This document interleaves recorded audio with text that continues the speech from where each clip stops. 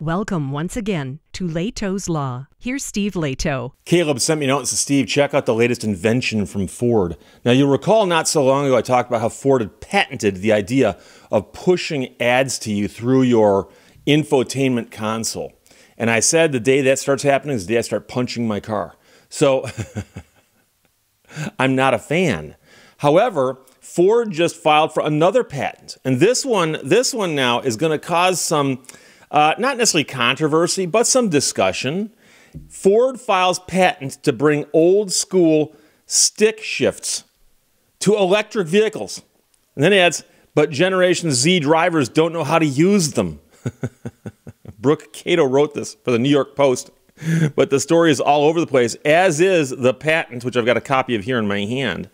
But um, she writes, that Ford's new electric vehicles could soon see a retro edition manual gear shifts. A patent application from the automaker published this month details a gear shift for electric cars that mimics the appearance of a traditional stick shift, but without any gears to actually switch between. And um, the point she's making is uh, about 18% of Americans actually know how to use a stick shift uh, with the number even lower in certain demographics, shall we say. Uh, many of the people in my audience know how. More than 18%, I guarantee you.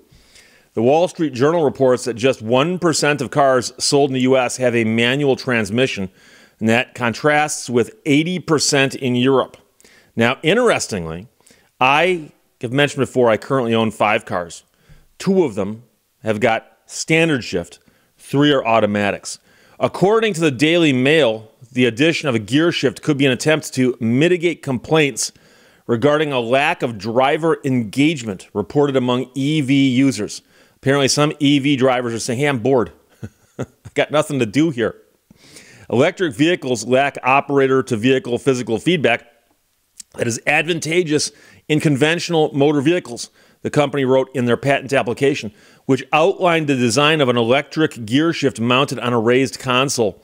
The gear shift would vibrate and provide resistance to mimic the manual transmission of a fuel powered vehicle while allowing the driver to control the electricity between the car battery and the motor. You got to be very careful though working that clutch because you'll grind your electrons otherwise. So, Ford isn't the only car manufacturer looking at these kinds of things. Hyundai's Ioniq 5N features fake EV shifting, which mimics how a manual transmission would behave. Now, of course, they can't have a patent for Ford on the shifter if somebody else already got it. So I'm guessing that Hyundai's mimics the behavior of the transmission, but does not actually have a fake shifter here for you to play with.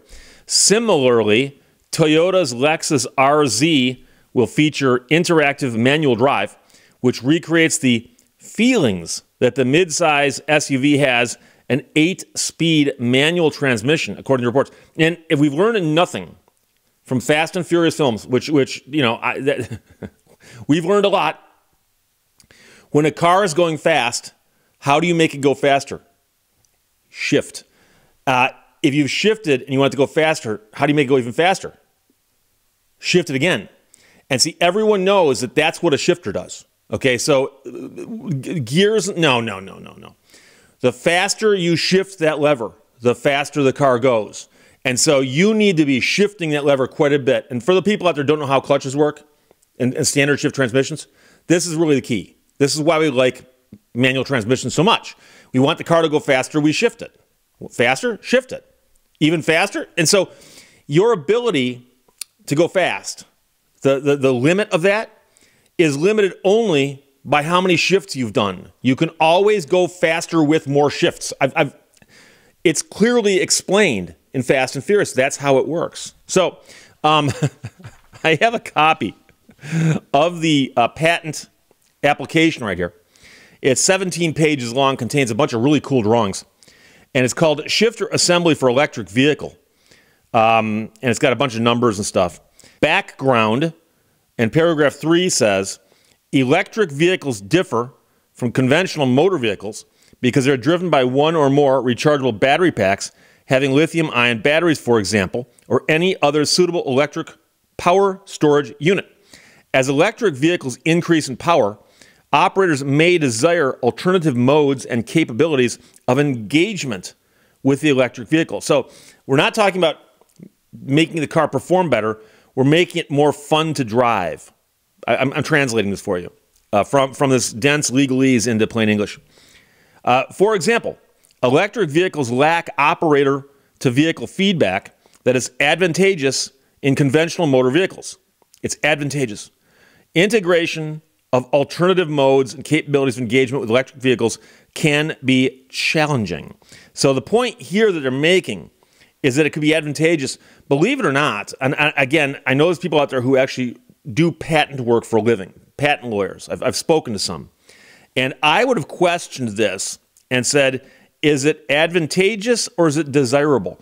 Because I think that most people would say it's not really advantageous, doesn't do anything, but it's desirable because it makes the car more fun to drive. However, keep in mind that patents have to be something that's unique and you have to describe what it does. And so I think saying that it's advantageous means that it does something, whereas if it was simply desirable, it might not be. But I could be completely wrong in that, and I apologize. I'm simply thinking out loud.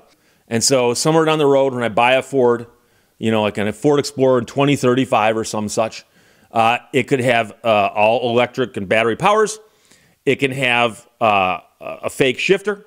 Uh, I hope by then you've got a fake clutch to go along with it so I don't feel stupid. Uh, it'll push ads to me, not just through the infotainment center, but also probably on the inside of the windshield. You know, a heads up display advertising, like your, your, your, your own windshield becomes a billboard. Okay. So, Caleb, thanks for sending me the note. I believe this is the silliest thing I've ever seen. Uh, and if you read the 17 page patent application, uh, the bulk of it is literally diagrams of how the shifter is going to look and it talks about how the shifter will not just be sitting there, but you can put it into different positions in a, in a shift console, you know, with, with like those gates that, you know, the shifter goes here or here and here or here, and you can shift it around. And um, it, has got a lot of that. And apparently, um, that's going to be advantageous to the drivers who would otherwise uh, be bored uh, in their electric cars. So New York Post ran the story. Brooke Kato wrote that Ford files patent to bring old school stick shift to electric vehicles. And she points out Gen Z drivers won't know how to use them. Questions or comments, put them below. Let's talk to you later. Bye bye. Thank you for watching Lehto's Law. Actions speak louder than tweets.